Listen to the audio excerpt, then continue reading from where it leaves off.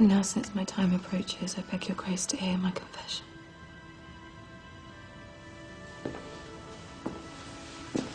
Also, I should like the constable present when I receive the good lord. Madam.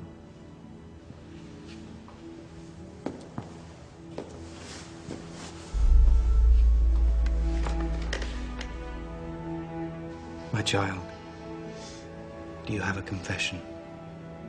Yes.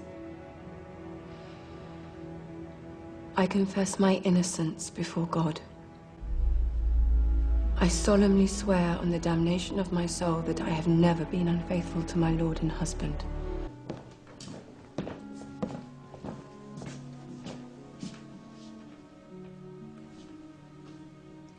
My lords, why have you come? This is the warrant for your arrest.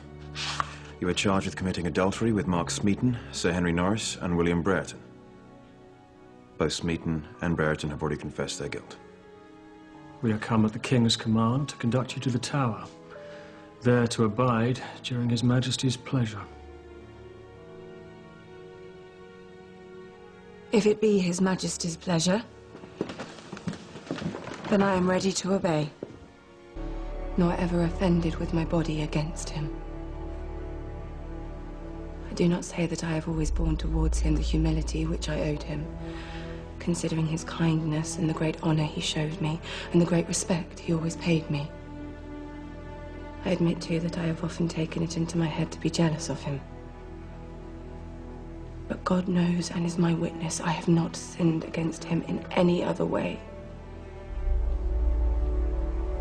Think not I say this in the hope to prolong my life.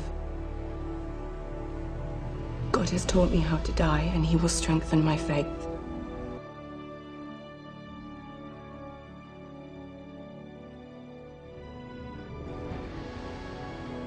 As for my brother,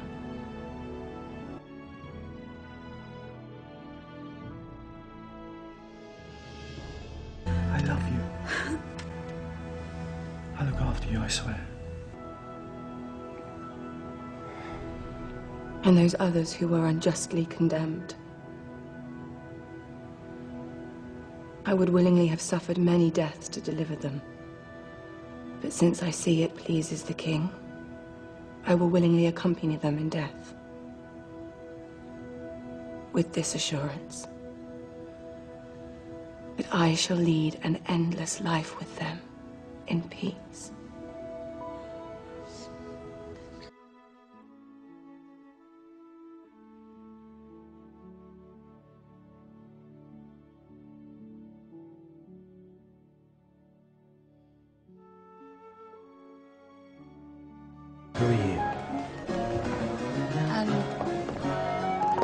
Ano ba?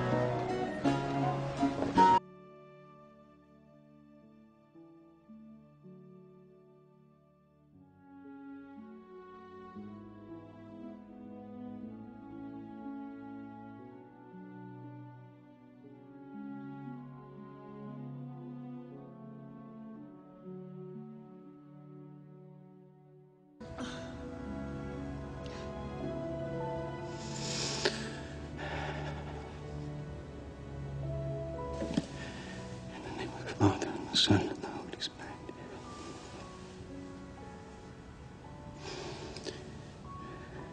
Master Kingston, please go and make sure to report my lady's true and last confession, so the world will know it. I will.